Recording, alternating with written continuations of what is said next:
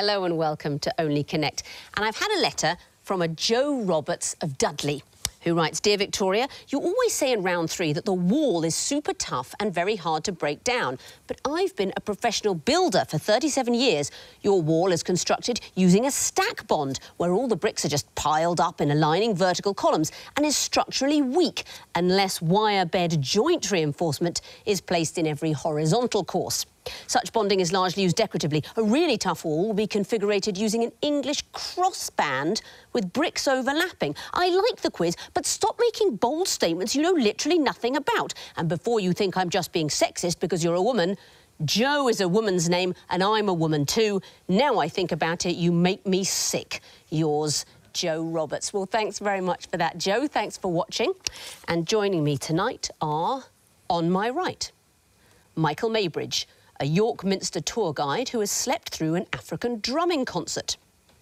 Sally Maybridge, an operations administrator who once texted all the details of a surprise party to the person whose birthday it was. And their captain, Tim Bridgestock, a digital productivity officer who once helped a stranger named Tim Bridge change a car tyre. All members of the Bridge family, more or less, they are the Bridges. Tim, you lost your first game and you nearly lost the second one, but had this amazing round four where you were four points behind, dropped a point and still came back to win. How stressful was that? Yeah, I think it's fair to say we are here by the skin of our teeth, for sure. It was a brilliant round for you personally. I mean, that, it was a wonderful missing vowels group of, of, birds. It was lovely. The brown booby, great tit, creamy rumped myna, and the European shag. Are you a twitcher? Not personally, no. Well, you did very well in that round, and good luck doing well in all the rounds this evening. You. you will be facing on my left Paul Taylor, a data analyst who has visited 100 pubs in the past three and a half years. Ali Lloyd, a maths graduate who spent the night in a bath in order to see the band Godspeed You Black Emperor. And their captain, Katie Steckles, a maths lecturer who coordinated an international project to build a giant cardboard fractal from a million folded business cards. United by a passion for puzzles, they are the puzzle hunters. Katie, you had an incredible round one match, a, a brilliant score, but then your second game, you had a nightmare wall. What was the worst group on that wall for you? I think there was a group of kind of Irish singers and we sort of vaguely recognised it but didn't quite put it all together. It was really frustrating. Welcome back, all of you. Lovely to see you again. Let's play the game. We tossed a coin and you won that, Bridges. You'll be going first. Please choose an Egyptian hieroglyph. Uh, the two reeds, please. Two reeds. You're going to be seeing a series of picture clues. What connects them? Time starts now. Children, American... America. Uh, next, please. Okay, is it Kids of America? Could be. Which is uh, Kim Wilde, someone, is it? Yeah. I don't anyone recognise recognise them, people in no. a second? Mm. Possibly Fame, but I don't know. No, 1980s next. number one. Next, please. Celebrations. That's, they uh, miniature that's cool in the heroes? gang as well. Or are they heroes? Uh, oh, they are heroes. Uh, next, please. And that's Rebel, Rebel. Rebel. Rebel Wilson. David Rebel, Rebel. Harris. Okay, yeah. I think these are David Bowie songs. They are David Bowie singles. What are we looking at? Uh, so Rebel Wilson in the fourth clue, giving Rebel Rebel. Mm-hmm.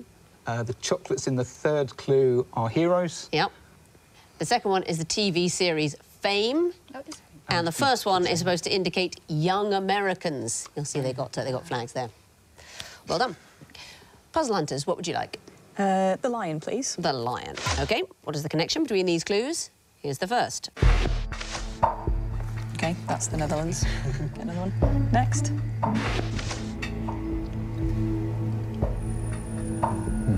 Got nothing.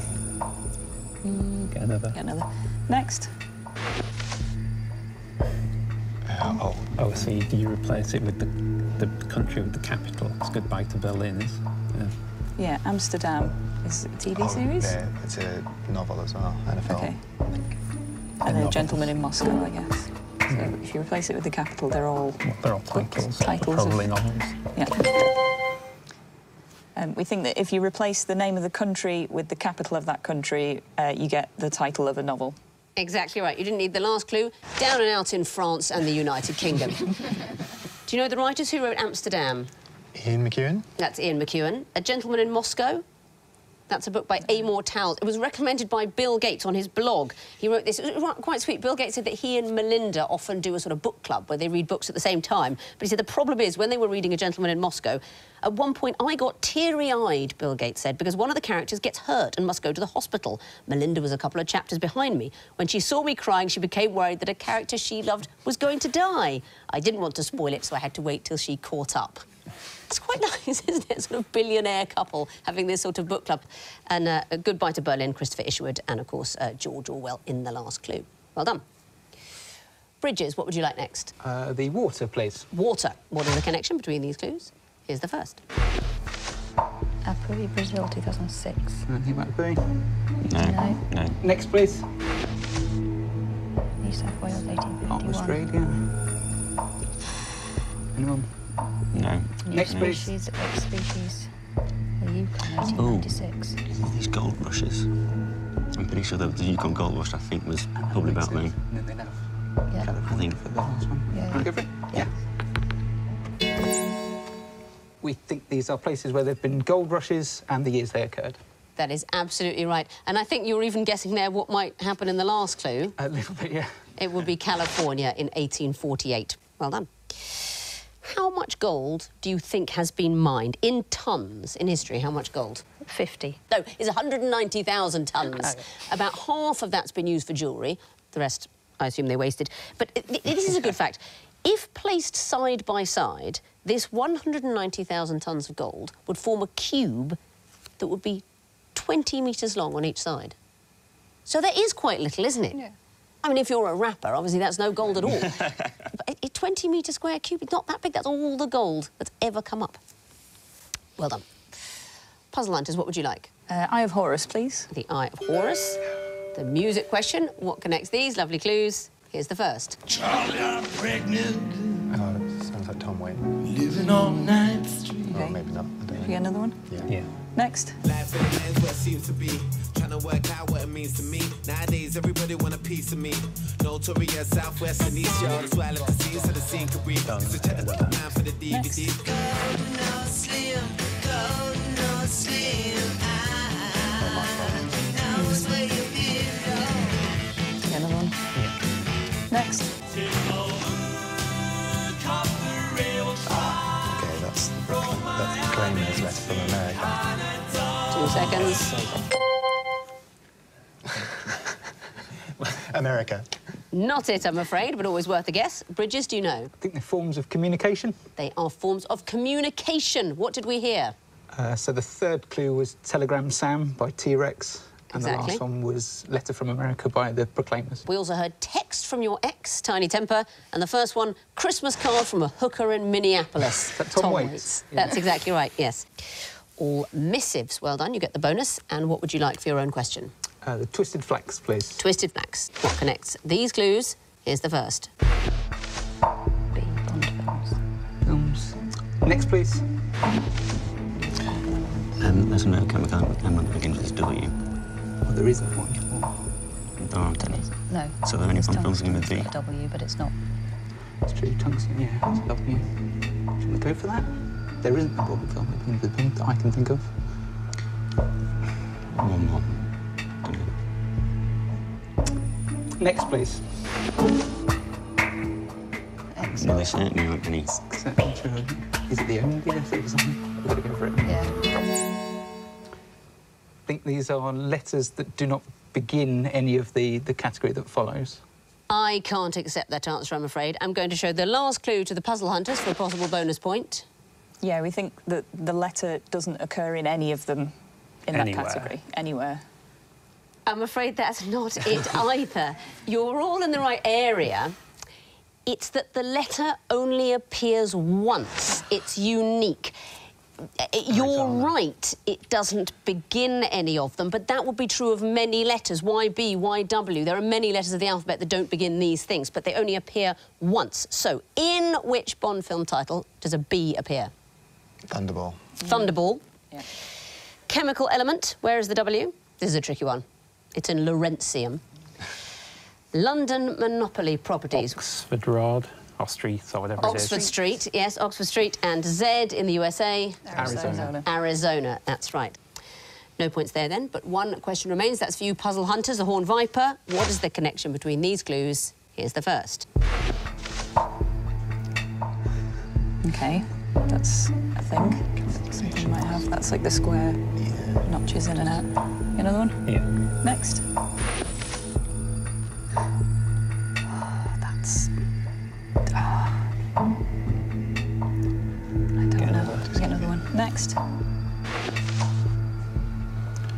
The book. Oh, are they things on the um, test card? Uh, these are all things that appear on the test card. Very well done. Yes, they do. You didn't need to see the last clue. Eight-year-old uh, Carole Hersee. Where do you see the red and blue castellations? Uh, on the left-hand side. yes, but they're round the edge, aren't they? Because it's black and white in the middle, and there's colour, much like your own beautiful jumper. Lots of colours there. Bubbles the clown, noughts and crosses are on the board, and the cross indicates the centre of the test card. And Carole Hersee, who is the little girl in it, is the daughter of the person who designed it, and it's called Test Card F.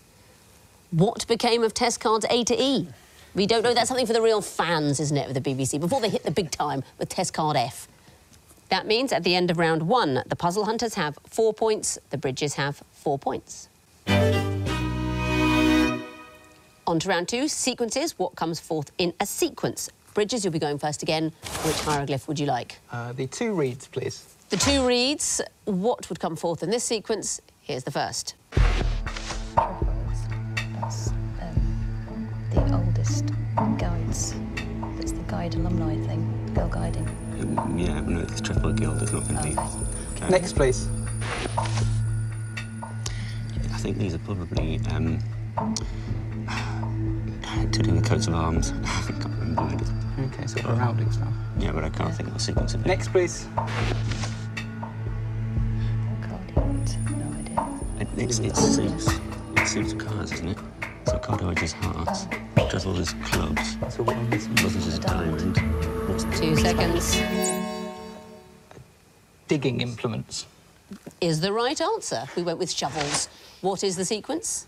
Uh, they're alternative terms for the different suits in a pack of cards. Yeah, absolutely right. So trefoils, an ornamental design, looks like a club, or the clubs in a deck of cards, lozenges for diamonds, hearts, and we're going in bridge order up to spades at the end. Well done.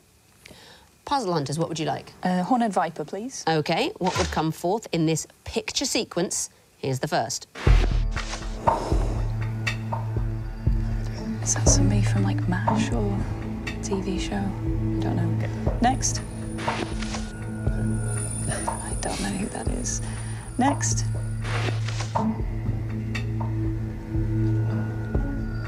There is another person that I don't know who it is. It's presumably their names or something, isn't it?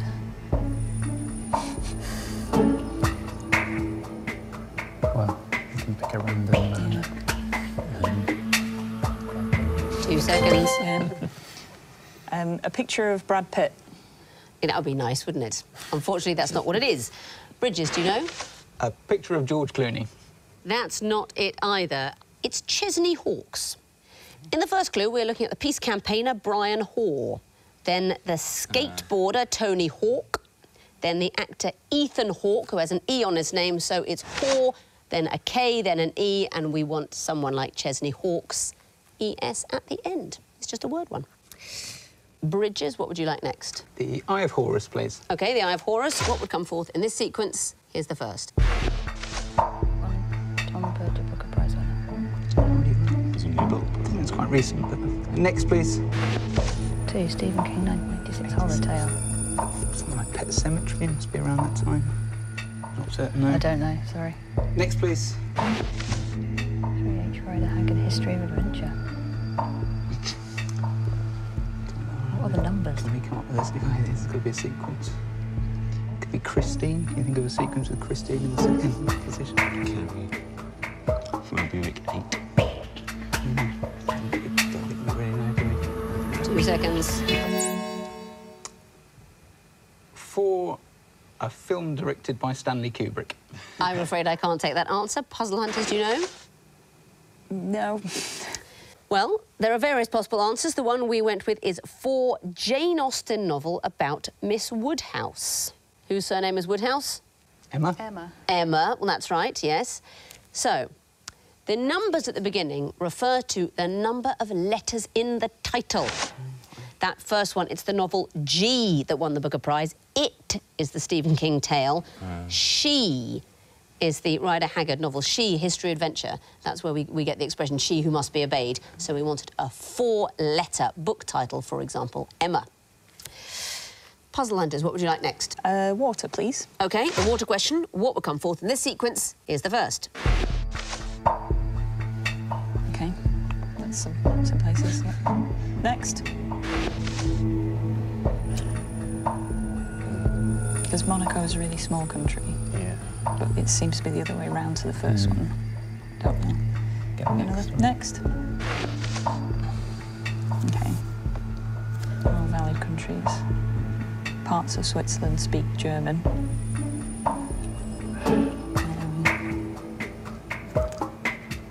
The UK or something. The UK and Ireland. uh, the UK and Ireland. Not it, I'm afraid. Bridges, do you know? San Marino in Italy. No. Now, this is a simple geography one. We are looking at a map and we're going round France, anti-clockwise. So mm-hmm. these are the countries that border mainland France. We're not counting the overseas territory. So Spain and Andorra, then Monaco and Italy, and we're going round anti-clockwise after Switzerland and Germany. We arrive at Luxembourg and Belgium. Those are the eight countries that border mainland France. Come on, I'm in the mood for more points. Let's get them. What about this next question, Bridges? What's it going to be? Uh, the lion, please. The lion. What is the fourth in this sequence? Here's the first. Great start. Isn't he a, he's a TV presenter? Didn't he do uh, Family Fortunes or something like that? Maybe, I don't know. Next, please. So who's doing it now? I don't, know, I don't think I've seen it since Dennis did. Now. Something like Yes, it Vernon, is. or Paddy McGuinness, something like that. Possibly, or Vernon Kay. Okay, that does ring a bell. Do we want another one to see what happens? I don't think it's going to make any difference. Unless it's Vernon Kay, in which case that's, then we don't have a guess. So. Go for it, yeah. Vernon Kay? That is not the answer, I'm afraid. so we're going to show the third in a sequence to the puzzle hunters.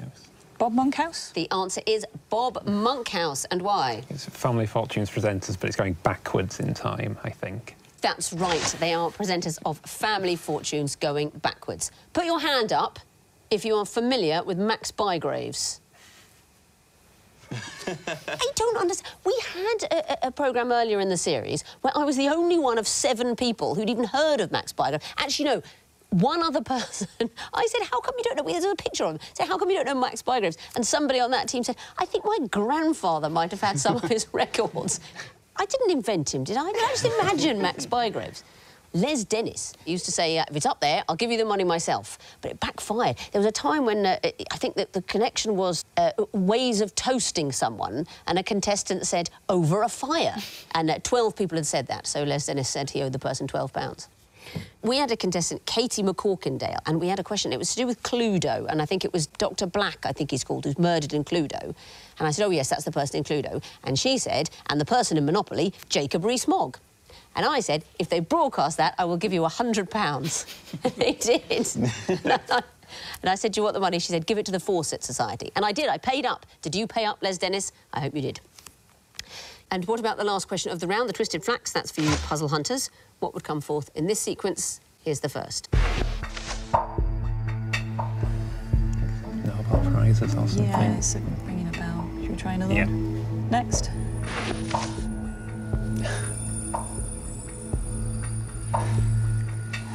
Next one. I don't really get it from two, yeah. Next.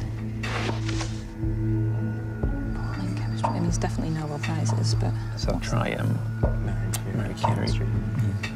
Chemistry and physics. Yeah. Yeah. First, Marie Curie, chemistry and physics. Is the right answer. And why? Um, is it the most Nobel Prizes? Well, no, it's just multiple Nobel Prizes. They, there's people that have won it twice, and those disciplines going back in time towards the first person to win it twice, Marie Curie, in those disciplines. Well done. That means at the end of round two, the Bridges have six points, the Puzzle Hunters have seven.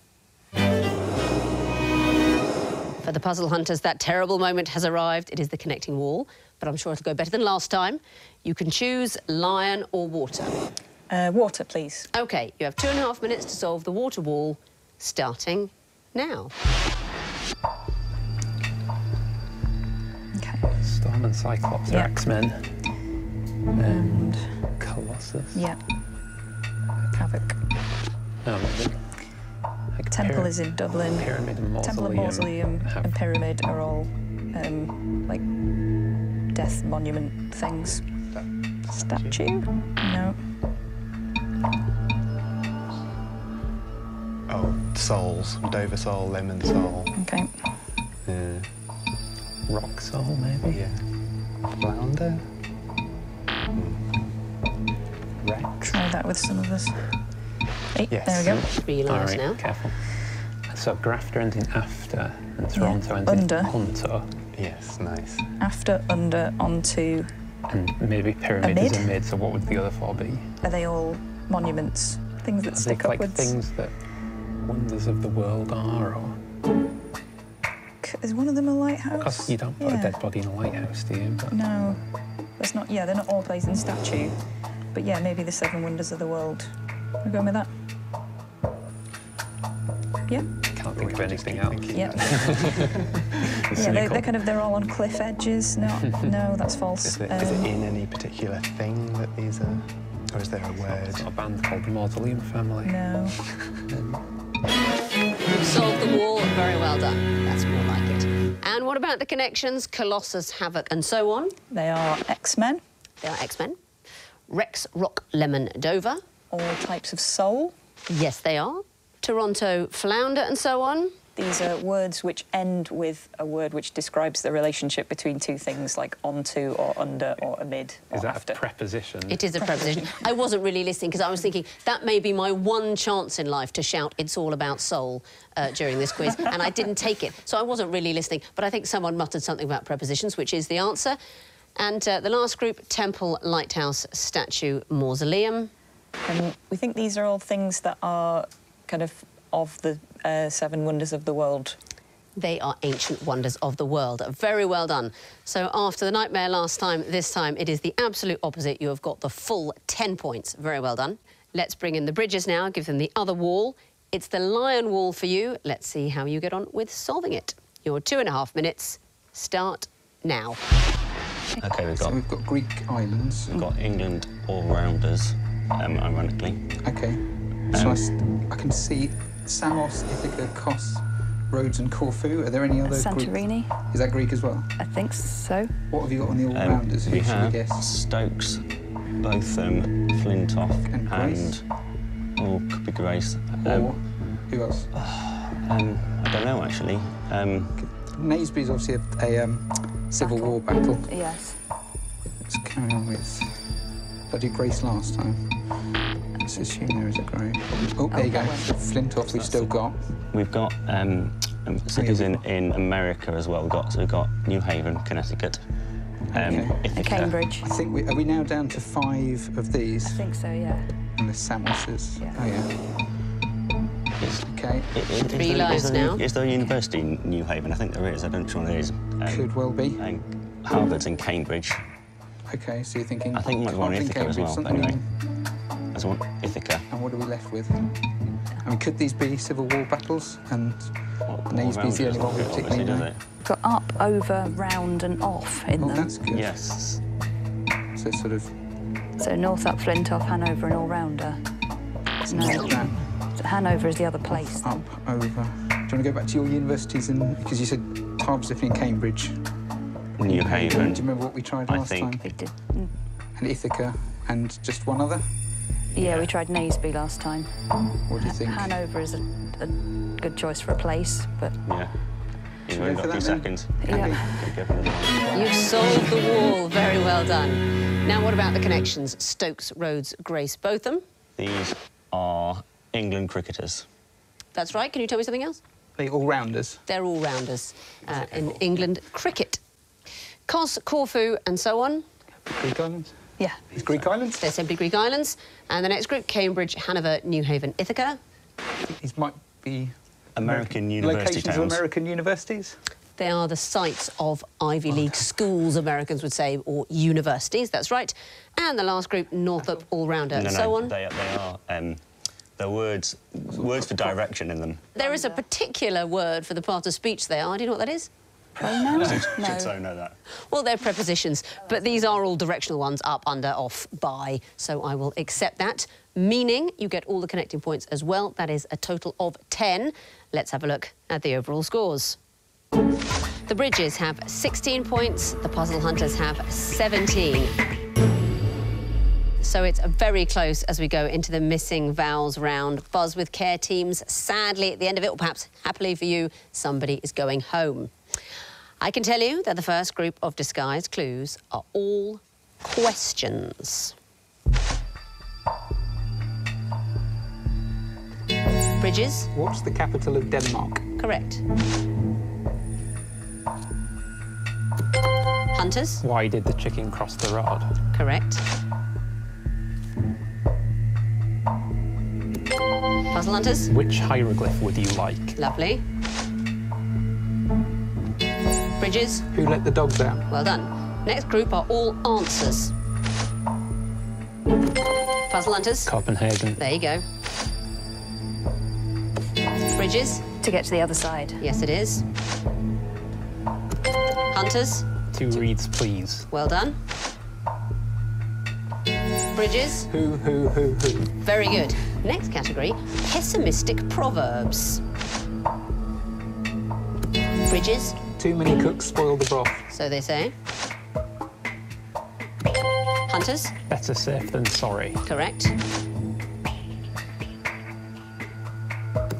Hunters, There's no such thing as a free lunch. very good.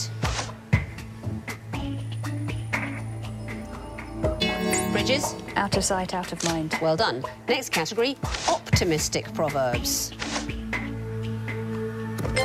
Puzzle Hunters, Many hands make light work. correct.